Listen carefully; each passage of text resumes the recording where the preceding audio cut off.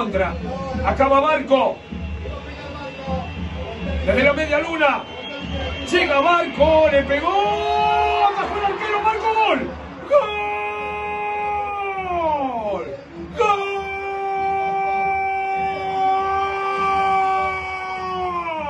¡De River! Le pegó mal, casi al medio a media altura. Sacó área, le quedó el rebote a Barco. Y suavemente sobre el palo izquierdo en los 39 minutos. Amigos, en la paternal estamos, una nueva caída de River. Después del duro golpe en la Copa Libertadores de una eliminación prematura, River arranca la Copa de la Liga, estrenando su título de campeón con una derrota inapelable que lo deja con preocupaciones frente a Argentinos. Por supuesto que en el vamos y en la previa, Argentinos era un rival de dificultades, ya lo exhibió incluso en el Monumental, en el torneo pasado. Pero este equipo de Gaby Milito, que merece un reconocimiento enorme, Milito, para mí no es lo suficientemente valorado por el medio respecto de lo que ha conseguido de esta obra de arte que es Argentinos en su eh, expresión colectiva, con rendimientos muy buenos, muy acordes, pero todos al servicio de un equipo muy intenso, muy desequilibrante. Pero no me quiero ir de River. River ha tenido vaivenes en el partido, pero hay datos incontrastables. Este equipo como visitante ganó uno de los últimos 12. Desde aquel empate frente a Atlético Tucumán, un viernes por la noche, a caídas estrepitosas, este equipo como visitante no tiene el comportamiento, no exhibe ni por asomo el mismo comportamiento con el Monumental. Un dato. El otro, le marcan mucho de pelota parada. Ener Valencia, Gaby Mercado, Gondú, Minizale, Di Cesare, todos le cabecean a River. Todos le cabecean a River. Y Argentinos, que en los primeros 15 minutos lo atropelló, no lo dejó respirar en esta cancha, el Diego Maradona, presionándolo, ahogándolo, obligándolo, con un Gondú que nunca daba referencias, partió el medio campo Milito astutamente con Moyano y con Redondo, tiene un central como Villalba que acompaña todo el tiempo, Di Cesare y Minizale todo el tiempo se animan a jugar. Argentinos es un equipo que intenta desarrollarse todo el tiempo, que buscaba la amplitud con Cabrera sobre la derecha y con Montiel, este chico, el hermano de Gonzalo, el primo de Gonzalo, surgido en River, eh, dejado libre por River, es un jugador que aquí en Argentinos, un rebelde con un desequilibrio enorme. Quiero decirles que también Gondú y sus inferiores en River surgió allí, explota en Sarmiento de Junín para llegar a Argentinos a reemplazar a Ábalos. Hoy Argentinos tuvo dos bajas claves que fueron Torren y Ábalos, jugadores de experiencia, jugadores firmes que hacen al estilo del equipo. Y River, que sucumbió en esos primeros 15, que recibe el golpe desde la pelota parada, un centro abierto, un cabezazo de Di Cesare, eh, que pega el Minizale y que termina confundiéndolo a Armani y se le mete contra el palo para que Argentinos a los 11 minutos eh, se pusiese en ventaja. A partir de allí, River reacciona. ¿Cómo reacciona? Elige presionar más arriba, elige acompañar mejor a Borja, elige adelantar un poquito más a Liendro y a Craneviter. Hoy de Michelis relegó a Enzo Pérez, lo puso ya en el segundo tiempo e intentó con Barco. Para mí Barco fue el mejor de River en la primera parte y para mí mal reemplazado por el técnico de River.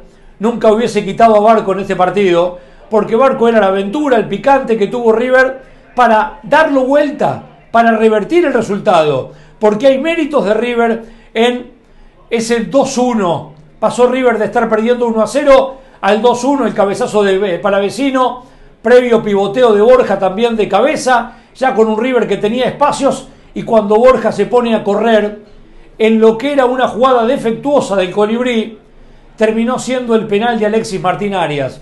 Penal claro, se lo lleva puesto al colombiano Borja y lo que era una mala jugada para Borja terminó siendo eh, con fortuna un penal a favor de River, un penal que convierte en segunda instancia, en la primera se le había tapado Arias le había adivinado la intención a Barco, pero lo termina convirtiendo porque el rebote le quedó a su merced y River se ponía en ventaja, pero otra vez el karma de la pelota detenida. Un tiro libre desde el costado, Argentinos no tenía rumbo en ese tramo del primer tiempo, un tiro libre desde el costado, todos sabían que meter la pelota en el área implicaba un problema para River, Craneviter no pudo bloquearlo ni chocarlo a Gondú, que calza la pelota para meterla en un costado y 2 a 2. Y a remarla otra vez.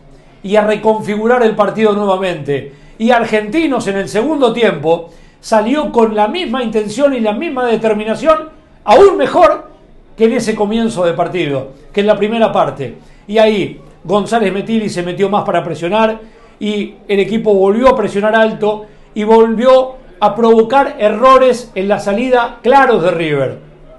Funes Mori pasó problemas por todos lados. Si era un partido para presentarlo a Funes Mori, justamente este no era el indicado. Un equipo que lo presionó y lo obligó al error. Y ni hablar de Aliendro, que queda retratado Aliendro en un error no forzado por argentinos en la presión, donde González Metili después hace una gran jugada para habilitarlo a Bondú y para que eh, el rubio delantero termine marcando el tercero. En el 3 a 2, ya De Michelis se decide a cambiarlo todo al equipo. Saca a Nacho, queda para vecino de lanzador, sale Aliendro, entra Enzo Pérez y tres delanteros. Colidio a la izquierda, Solari a la derecha para acompañar a Borja. 4-3-3 sin marca en el medio y a lo que salga, a lanzar y a darle amplitud y a Enzo Díaz soltarlo. Casco no pasó tanto, pero le pedí amplitud a Enzo Díaz. Después lo termina sacando a Enzo Díaz y pone a Rondón. Termina con cuatro delanteros River, termina tirándole pelotazos y ya no llegaba tanto porque el dueño de la pelota era Redondo Federico, una de las grandes figuras que tiene este equipo de Paternal, porque Metili jugó un gran segundo tiempo, porque Argentino se había apoderado de la mitad de la cancha despobló el medio de Michelis para potenciar el ataque y el trámite estaba, seguía estando el partido en la mitad de la cancha, por eso las quejas de un Enzo Pérez, impotente, pobre, que pedía auxilio, que pedía ayuda y por eso tenía que cometer muchas faltas.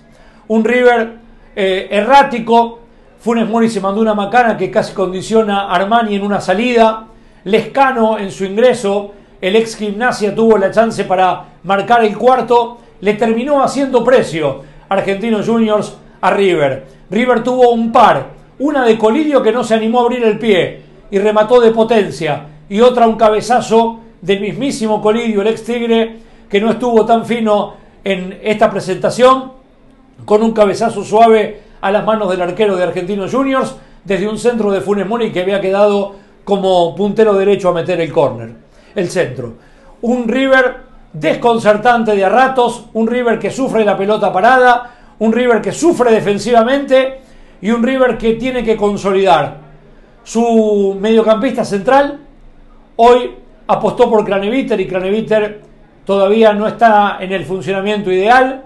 Hoy Funes Mori es una sombra de aquel que emergió en River y que llegase en un momento a la selección. Y hoy, ¿cómo analizamos el partido de Borja? ¿Era el partido para Borja este? ¿O la presión de Borja en el, eh, en el receso y toda la presión del hincha de River para verlo a Borja? Aunque tengo la información de que De Michelis le daría más continuidad al colibrí para sacarse todas las dudas respecto de él.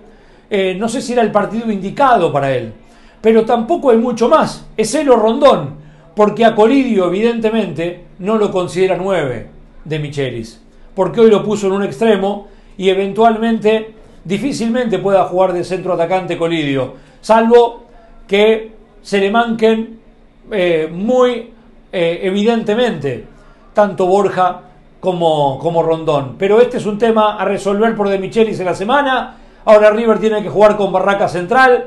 Tiene una multitud de futbolistas. Hoy entró Lanzini, para mí lo hizo bien. Entró a jugar en un partido ya muy cuesta arriba para River, pero le dio claridad o intentó darle claridad al juego de River en la mitad, entró a jugar sobre el costado eh, izquierdo del mediocampo, como un interior izquierdo en un River que tenía a Palavecino, a Enzo Pérez y a eh, Manu Lanzini y a los tres delanteros.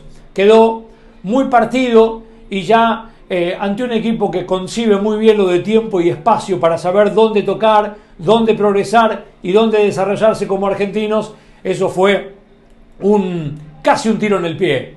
Fue un, un error que precipitó la caída.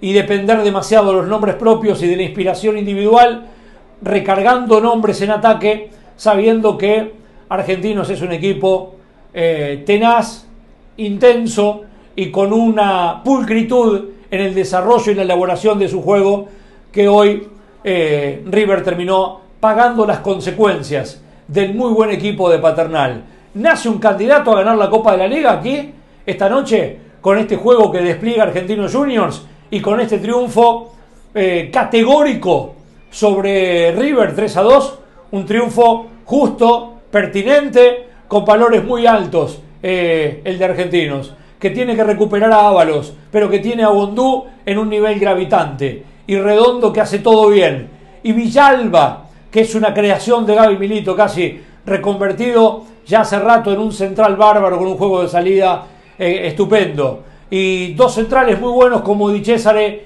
y Minisale, mientras espera por Terren. Injustamente eliminado de la Copa Libertadores, Argentinos es un digno exponente del buen fútbol, acorde a su historia, por supuesto, y protagonista de este campeonato. Nace un candidato para mí, River, lleno de problemas, con un montón de dilemas. Se va River de la paternal, con un montón de dilemas y de debates internos. Se va el técnico de River respecto de el 11 que elige y de los cambios que hace. Todo por revertirse en este River de grandes nombres, sin Copa Libertadores, sin Copa Argentina y con 13 partidos por delante para revertir la situación.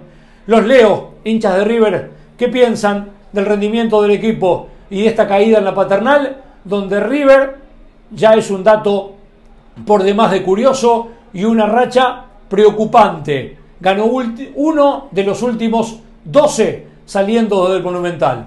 Les mando un abrazo grande, la seguimos en cualquier momento.